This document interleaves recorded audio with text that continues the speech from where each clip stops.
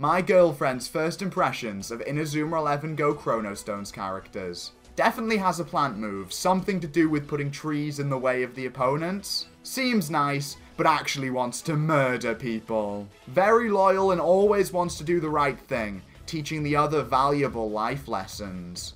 Crazy and very chaotic.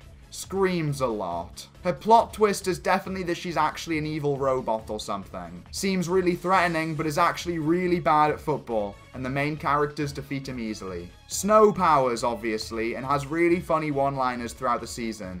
Kind of forgettable though.